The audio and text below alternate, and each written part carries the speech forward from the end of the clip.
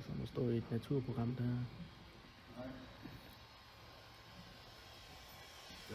meget let.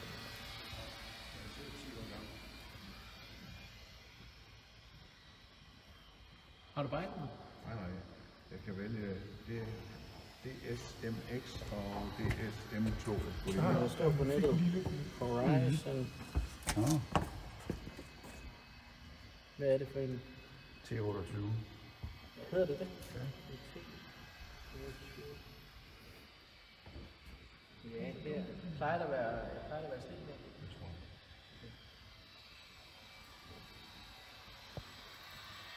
jeg. Jeg ser, hvad der står her. Manuals and support. Og hvad, du kørte moduler i, om i den der, ikke? Jo.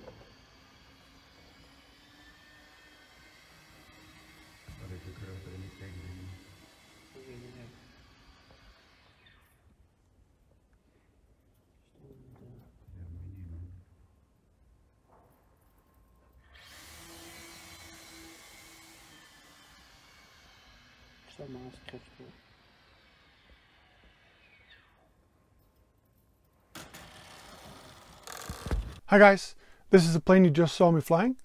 Uh, it's partly my own design. It weighs 55 grams in this configuration and measures uh, 80 centimeters in wingspan and 65 centimeters in length. The wing I borrowed from another model and also borrowed the tail design. And the model I'm talking about is the one I have behind me, this one.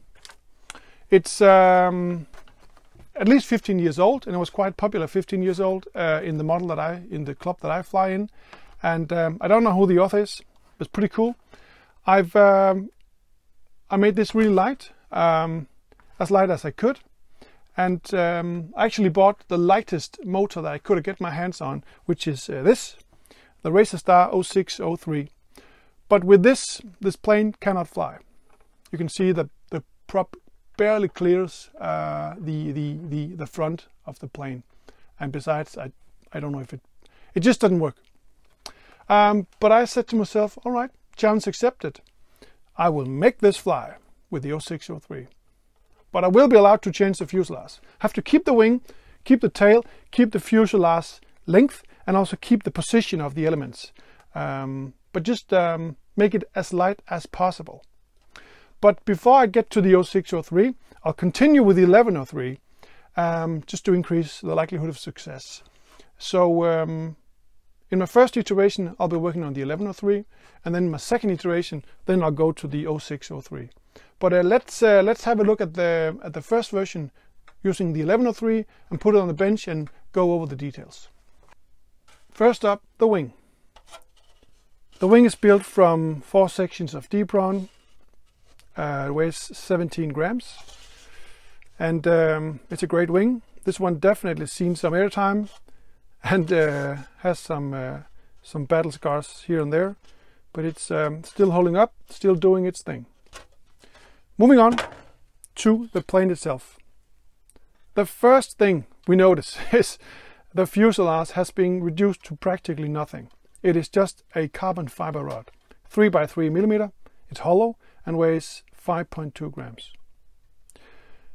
So to be able to attach the other things to it, I've designed these um, and 3D printed these uh, uh, uh, mounts that uh, just slide on to uh, to the uh, the fuselage.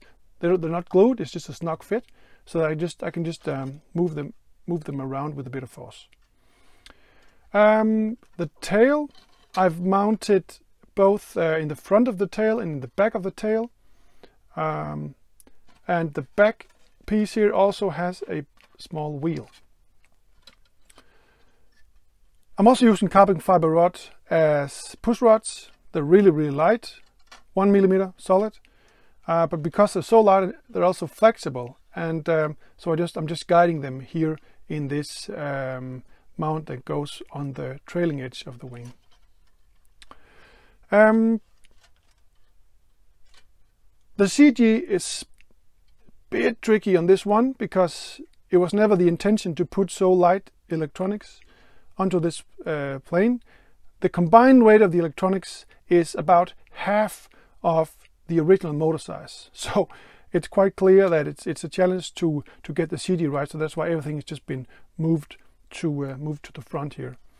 Um, so I haven't found a clever way yet to uh, to mount the ESC and the RX. I've just taped them individually and then taped them together, and then I just tape them to the fuselage. So that's um, something I have to uh, to find a uh, a better solution for. Um, so yeah, it's really really simple, really simple setup. But let's go over the electronics and have a look at those uh, while they're not taped up and all uh, crammed up. First, the battery. This one is from Hobby King, Turnigy brand, 200 milliamp hours. Um, I've tried the 150 milliamp hour version. It weighs four and a half grams. This one weighs six, but it just the EC just cuts off. I cannot give full throttle. Uh, and this one I can give full throttle. So and I want to be able to, to do that. So this is the lightest that I'm, I'm willing to to go in terms of uh, terms of batteries.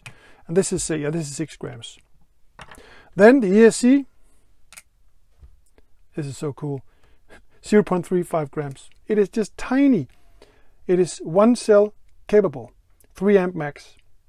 And um, I got this in the barebone version. You can buy them also with some uh, connectors uh, uh, already sorted here, but I just wanted to have it as lightweight as possible. But this is awesome, you see. Then we have the RX. It weighs just short of a gram. Yeah, it's a FrSky compatible. It's not a genuine FrSky product, but I um, I really like it for a couple of reasons. One, it weighs less than a gram. Two, it has PWM outputs, and many of the tiny receivers today are S-bus receivers. You can easily find several tiny S-bus receivers, but when it comes to PWM, uh, the selection is, is not as big. The last thing, we can run this on one cell. So this is a great match for for for this build. Then we um, then we move on to the servos. I'm using the 5320 from Hobby King because these are the lightest one I could find. They're advertised at 1.7 grams, but the reality is a bit higher because 1.7 is without wire and connector. Um, I also added here the servo arm already, so um, we're about uh, yeah just short of 4 grams for servos. Then we come to the motor. 3.64 and this is the Racerstar 1103 and it's an awesome motor. It's intended for quadcopters. So uh, just running at one cell, I mean it's just a walk in the park for, for a motor like this.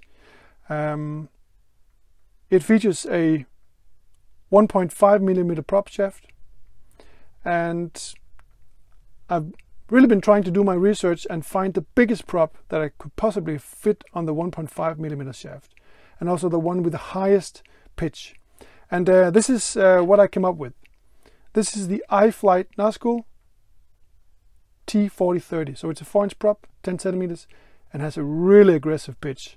Really, really aggressive. Uh, moves a lot of air per uh, revolution. And since we're only using one cell, I, I figured it would be important to move as much air we possibly could each time we we uh, we do a turn, because these ones the motor is intended to be run at uh, 3s uh, in, in, in quadcopters with of course you know different props, um, but it's I think the motor and prop combination is killer for this application. So I'm really really pleased with uh, with what I found here. So if we stack it all up on the scale, then we are um, at a total weight of, hang on, yeah, 16.33 grams. So that's that's the entire weight of all our electronic components. And again, that's not entirely true because we do need a couple of wires for connecting the ESC and the RX and also some motor screws and so on. But still really, really lightweight. All right, let's have a look at the 3D printed parts. First one, this is the, um, the motor mount, which also has uh, landing gear, rooms for wheels. Um, I've designed all the pieces in Tinkercad. I really like that. It's free, easy to use, practically no learning curve. Um, I've sliced the parts in Cura and printed them on a Creality Ender 3 version 2. This piece here is by far the one that I've iter iterated over the most because the motor piece or the motor part here is um, is a bit tricky because on this end this is where the screws go in and the screws are so small that the screw heads actually go inside the piece. On the other end I just have the threaded part um, coming out of these uh, holes here and entering um, the motors, the motor. The, um, on this end here we have the square hole for the fuselage, but on this side it is round because I had to account for the rotating part of the motor. So I didn't want it to, to grind against. I needed to, to, to make sure that it could run freely without touching the PLA. So 2.63 grams. The next piece, which was probably hard to see before, is the servo mount and battery mount combined into one. Yeah, not much to say. Um, then we have the first part of the wing mount. This is um, for the leading edge, and this is for securing the rubber bands that secures yeah, the wing to, uh, to the rest of the plane. This is for the trailing edge. This is also where I have the, the, the, the guides for the push rods, so they don't flex too much. And again for rubber bands. Then we come to the smallest piece I've had to design and print, this one. And this is for securing the front of the tail to the fuselage. The last piece for securing the, the back end of the tail uh, to the fuselage, but also for uh, having a small wheel. So the total weight of all the 3D printed parts, if we look combine it, we're looking at yeah, just short of five and a half grams. So very, very little. Alright guys, that's all for now. I hope you enjoyed the video and found it interesting. Um, if so, please like and subscribe and stay tuned for my next video where I'll be using the 0603. Cheers.